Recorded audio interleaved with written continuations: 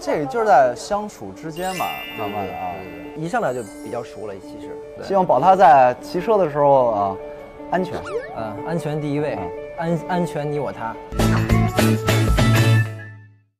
Hello，优酷的朋友们，大家好，我身边这位就是叶鼎之的扮演者何宇老师。对，然后呢，他在剧中的真实身份其实是叶云，就是百里东君的发小。百里东君的哥哥，这是我的发小东君，我是看着他长大的，我们一块儿长大的。嗯，他饰演的是百里东君，是镇西侯府的公子。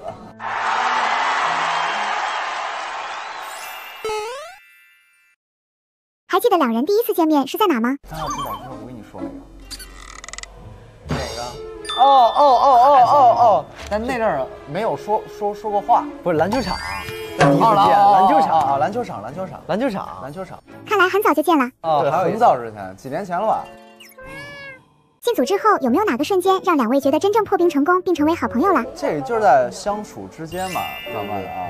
对我，我觉得我们俩也没有存在去破这个事儿，好像很自然啊。一上来就比较熟了，其实。但因为我因为我是一个比较慢热的人，对。但是呢，遇见何老师好像就是一上来就就没有那个慢热的过程。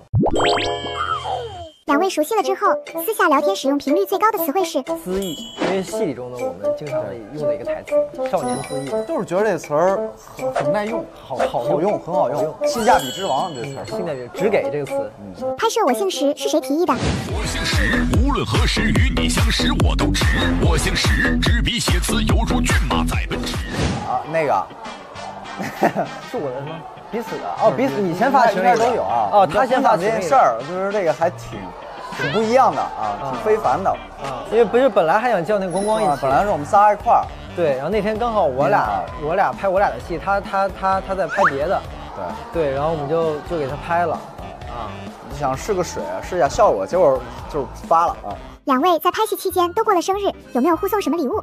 我给小时候送了个头盔，对对对对，希望保他在骑车的时候啊安全，嗯，安全第一位，安安全你我他。对，因为那个就他知道我喜欢摩托嘛，然后那个头盔我还给误会了。一开始我看的，因为我喜欢蜘蛛侠，然后我那个哎啊，他说手机收走了，因为我那个手机我那手机壳就是蜘蛛侠的。